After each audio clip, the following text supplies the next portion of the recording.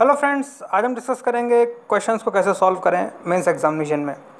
तो एक क्वेश्चन ले लेते हैं कि explore the status of finance commission in India explore का मतलब होता है उसका हिस्टोरिकल इंसाइट्स में जाना, उसके बेसिस पर जाना और जो कॉन्स्टिट्यूशनल उसकी जो स्टेटस है उसको फोकस करना।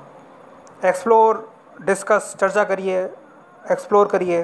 तो हिंदी और इंग्लिश दोनों में आप देख लेना मीनिंग क्वेश्चन का मीनिंग आपको समझ में आना चाहिए। अगर आपको मीनिंग समझ में नहीं आया तो फिर आप कुछ नहीं कर सकते आंसर में।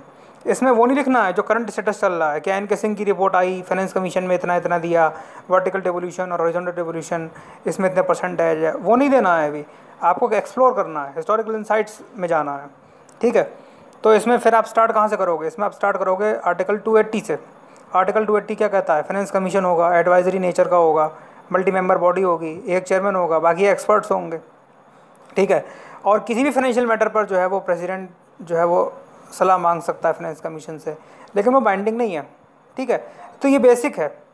इसको वर्ड लिमिट के हिसाब से लिखना है। अगर वर्ड लिमिट ज़्यादा है यानी लॉन्ग टाइप क्वेश्चन में आया तो तो फिर उसको और एलोबरेट करना होगा। शॉर्ट में आया तो शॉर्ट में लिखना होगा।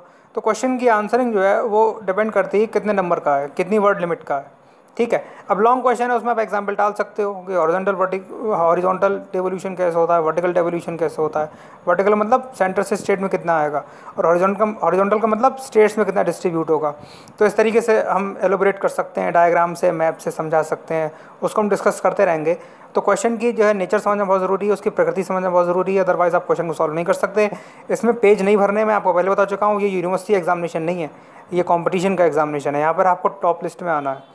ठीक है यूनिवर्सिटी में तो आप पूरी रामायण लिखते हो और उसमें फिर आपको मार्क्स मिल जाते हैं क्योंकि वहाँ तो केवल टाइम पास का होता है हिसाब किताब। यहाँ पर ऐसा नहीं है। टू द पॉइंट लिखना है आपको, जो भी पूछा जाए। एक्सप्लोर डिस्कस अलग चीज़ है। उसकी यूटिलिटी अलग चीज़ है। कि फाइनेंस कमीशन की क्या यूटिलिटी है, वो अलग चीज़ है। ठीक है? उसका सिग्निफिकेंस क्या है, वो अलग क्वेश्चन बनेगा। ठीक है? उसकी वर्किंग क्या है मॉडस ऑपरेंडी क्या है, ये अलग क्वेश्चन बनेगा। तो क्वेश्चन की प्रकृति को आप समझिए। जैसे आप क्वेश्चन की प्रकृति को समझेंगे, तभी आप उसका आंसर लिख पाएँगे।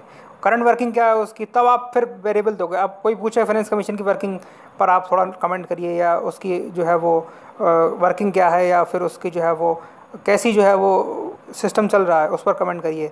तब आप बताओगे ना कि वर्टिकल और हॉरिजॉन्टल कैसे होता है, और कौन कौन से वेरिएबल होते हैं। पॉपुलेशन होती है एरिया ऑफ़ द स्टेट होता है फॉरेस्ट कवर होता है फ़िज़िकल डिसिप्लिन होता है। ठीक है तो ये चार पाँच पैरामीटर्स होते हैं, उनकी इतनी परसेंटेज होती है। फिर आप इसका एग्जांपल दे दोगे एन के सिंह की रिपोर्ट है, उसमें कौन कौन से वेरिएबल है, कितनी परसेंटेज है? तो ऐसे आप क्वेश्चन को सॉल्व करेंगे। अपनी मर्ज़ी से कहीं से भी शुरू हो जाओगे तो नंबर नहीं मिलेंगे।